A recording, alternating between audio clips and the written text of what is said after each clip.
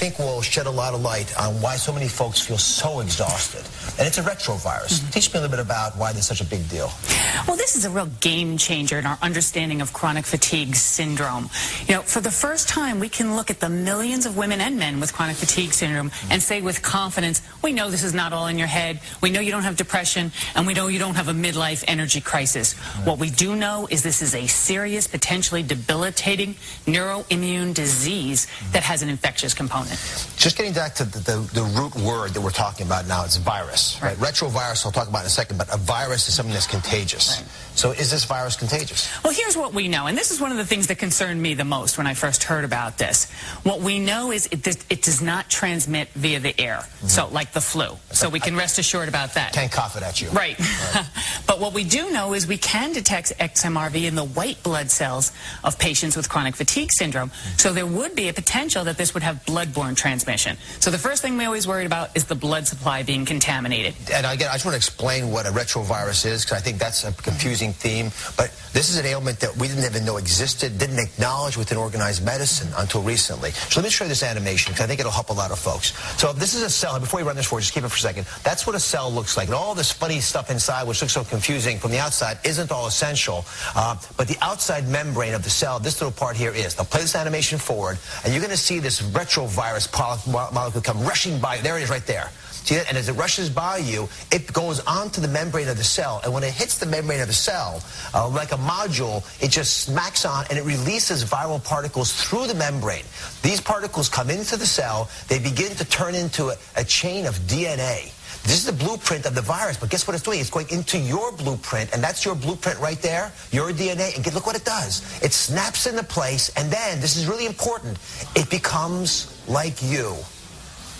So this isn't just a foreign invader that comes in and does battle with you. It actually joins you. It becomes who you are. Teach me a little bit, Donnica, about how someone who's watching at home might know if they actually have chronic fatigue syndrome, perhaps caused by this retrovirus. Well, most people think they're tired and they have chronic fatigue, and those are the patients who, if we sent them on a three-day vacation and gave them a babysitter, they'd feel much better. Right. but people, but chronic fatigue syndrome is a very specific clinical diagnosis. We don't have a blood test, but we have specific clinical criteria. The criterion you must have mm -hmm. is six months of new onset fatigue that's persistent. It's it may be relapsing and remitting but it is not relieved by rest, and it's not attributed to any other medical condition or so, social condition, like having a baby. Yeah, so if I'm just going to make this really straight up so people can figure out if they're in this category or not, let me go over what the exact mm -hmm. symptoms look like. I'm put a list up here of the three big ones. Now, we got a lot more information on, our, on droz.com, which will walk you through the exact criteria, which you can figure out at home as well. The first thing we look for is extreme fatigue, and just to point this out, if you go to sleep and you have a nice evening sleep, and you still wake up exhausted, that worries us. Second big issue is pain in the muscles, in your joints, um, in headaches, that sort of chronic pain syndrome that goes along with chronic fatigue syndrome. And the third is significant memory loss. We just just don't seem to be able to put the pieces together. Yeah, patients call that brain fog. That's right. not forgetting where you put your keys. It's forgetting what the keys are for. Right. Yeah, and, and this, by the way, is a condition that we see a lot more in women than men. I mean, two to four times more commonly in women than men. So although the women are also coming to the doctors for it, they seem to also be having the problem more often. So my next guest is named Gina, and she was one of about 300 people who participated in the groundbreaking new chronic fatigue syndrome study that just came out. Here's her story. Dear Dr. Oz, I've been healthy my entire life. I'd always taken care of myself and been active in sports, including tennis, car racing, and jumping horses. But a few years ago, all of that changed. Years ago, I began having back pain. I went to the doctor, and to my surprise, my blood pressure and heart rate were outrageously high. As the weeks went on, I developed more symptoms. My legs felt heavy, I ached all the time, and I was constantly exhausted. I got scared and began seeing a series of specialists who put me through countless tests, scans, and biopsies.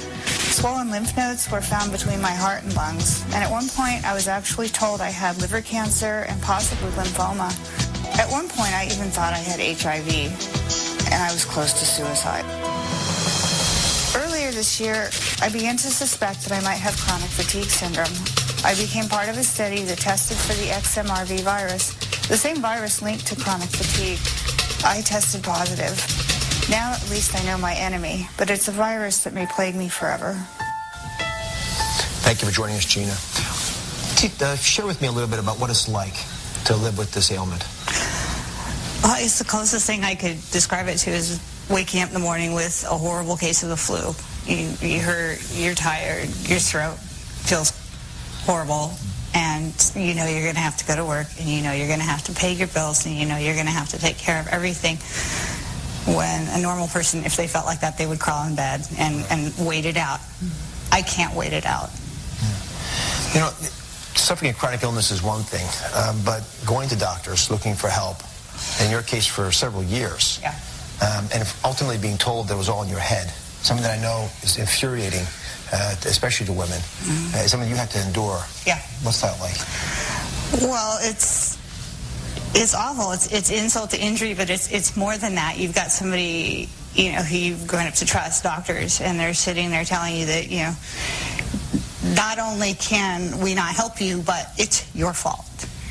And I, I went through that. In fact, one of my doctors, after some of I'd been going through some of this, told me he warned me. He said, you know, I have to tell you that if they can't find out what's wrong with you, they will start to blame you. And in fact, that's what happened. Um, I knew I had the virus at this point. I'd been through the study. I'd been told I tested positive. I didn't know what it was. But I went to the clinic and I asked the doctor there about it. I said, you know, I know I'm in the study. I know I'm positive for this virus. Could I have chronic fatigue? And he said, don't waste your breath. And he sent me to a shrink. Yeah. Yeah. You're still angry about that, I, I'm sure. Oh, yeah. Just a little. So did you, when you finally got the test results, this, despite what happened with that Yeah. doctor, Yeah. uh, did you, was there a sense of relief? Was it Vindication. vindication? Yeah. Yeah, yeah. Because I had a few doctors tell me that that was crap. They said, you know, people just say chronic fatigue when they can't figure it out. And, but there's no such thing. I want this to be a, real clear story for everybody out there because if you think something's wrong with you, you got to take this to heart yourself. Don't let anyone talk you out of it. Uh, Donnica, t- t- talk a little bit about the, this virus. And by the way, if I could just say something up front, there are over 10 million people, we think, that might be infected with this retrovirus. And, and fewer than half of them are going to exhibit classic symptoms of chronic fatigue syndrome. So th- these, this sort of atypical presentation is pretty common. That's telling us that this virus, virus is often lying dormant in us, right? Because if 5 million of us have it and aren't expressing it, the other 5 million of us have the virus and have a problem with it. There's something that seems to trigger it. So if, if- we could, let's talk a tiny bit about this virus, how do you get tested for it, and then help you understand why 95% or so of patients that have uh, ailments like Gina's claim that there's some type of a viral illness that's triggers it, sort of snaps them over, a fever or something of that nature. Well, a couple of things. First, the easy question about the test. It is cl- uh, available now. People can get it online. They can order it. It gets sent to them. Their doctor has to write a prescription. They get a blood test. It gets sent off to the lab.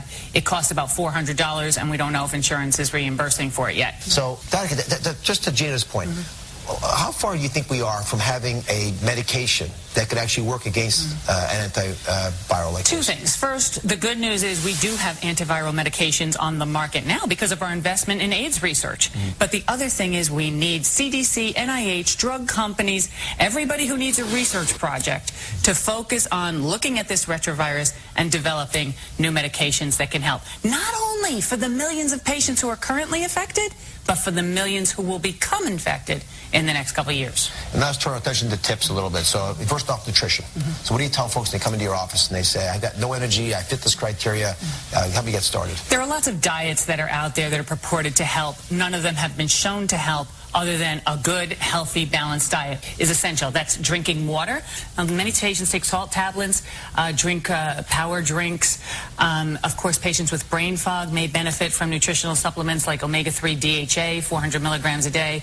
And then people with GI symptoms, for example, may benefit from uh, probiotics. So- but it's highly individual. Now, the, the basic tools we try to give you to cope with bodily the disorders will work with chronic fatigue syndrome. Real quickly, so after nutrition, sleep is, is, is absolutely essential. And with folks with uh, chronic fatigue syndrome, it's hard to sleep normally. Uh, so there's all kinds of sleep hygiene tools uh, that we have at DrOz.com. We talked about them. It's worth paying attention to them. In particular, making sure it gets dark before you fall asleep, uh, so you give your brain a chance to generate melatonin, so it gets you there. And, and finally, you got to exercise, which I know is so difficult. You know, I mean, if, if I just I try. Yeah, I, it's I tough. Do. But even if you're walking to the mailbox mm-hmm. slowly, every little step that you can put out there is hugely effective in allowing folks to, to stay, keep the maintain the flexibility and the muscle strength so they can keep up with this ailment. Gentlemen, thank you very much for sharing your story with us. Thank you. Donnica, pleasure as always. Pleasure's mine. We'll be right back.